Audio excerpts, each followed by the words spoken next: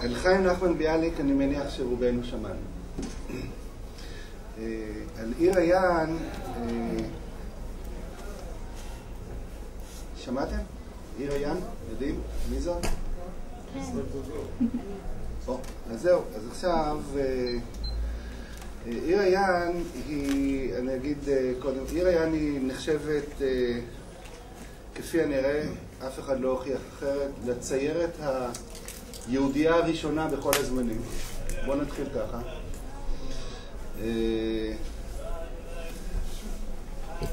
אני ב... תוך כדי, אני מקווה שהכרך אפשר, ואני אספר, נדבר, אני אספר עליה כמה פרטים, אבל עיר היען היא ילידת קישינב.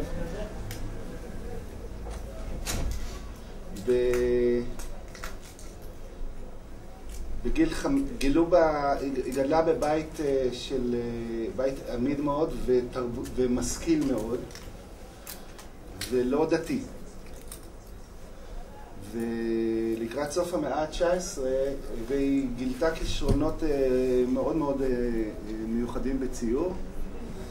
ואבא שלה שהיה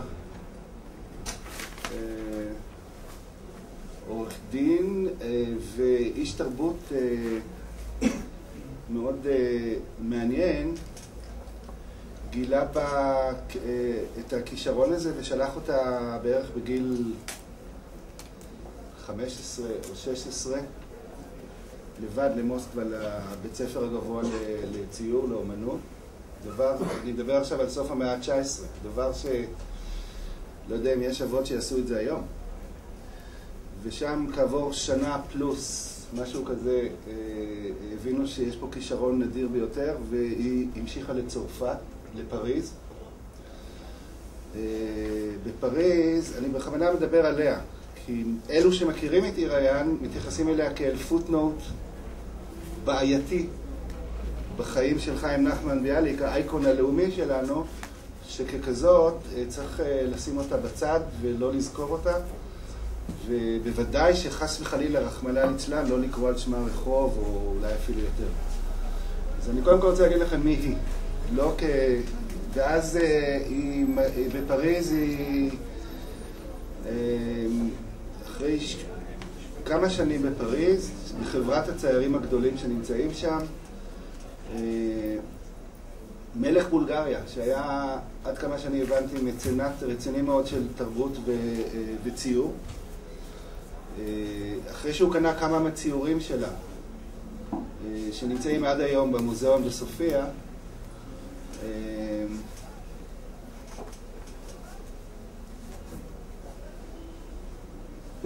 מדובר על עירה אז הייתה בת בתחילת שנות ה-20, 20, 21, 22. אחרי שהוא קנה כמה מהציורים שלה, הוחלט להקים במקביל, הוחלט להקים בית ספר לאומנות ראשון בסופיה. במקביל התחילו ההכנות להקמת בית ספר לאומנות הראשון בישראל, שנקרא בצלאל בירושלים. כאשר האיש שבעצם הקים את בצלאל הוא האיש שהיה קשור מאוד למלך בולגריה, בוריס שץ, אומן גדול בפני עצמו, והוא בעצם גם... בקיצור, השורה התחתונה זה שעיר היען מקימה את בית הספר לאומנות הראשון בסופיה, בבולגריה. מדובר באישה צעירה בת 20, ואני אף פעם לא הייתי טוב בתאריכים מדויקים ובגיל, אבל 23-24, ושם היא מכניסה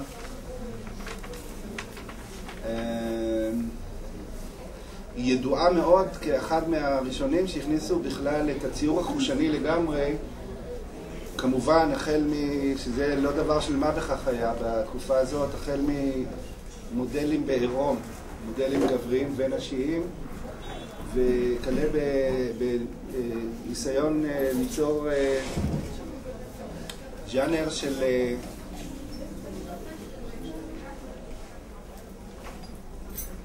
ציור אקספרסיבי מאוד מאוד חושני. זה חשוב מאוד מאוד מאוד, כי בעוד כמה שנים ממש מעט שנים היא תפגוש את חיים נחמן ביאליק והיא תנסה איכשהו למשוך אותו גם בכיוון הזה, והדרמה הזאת ביניהם היא לדעתי חלק מהערב, מהסיפור שננסה ליצור פה בערב הזה, ואני כבר אומר לכם שאם נספיק את כל הסיפור אז משהו לא בסדר. זאת אומרת, זה סיפור ארוך ועמוק וטעון, אני רוצה רק ליצור איזשהו טעם.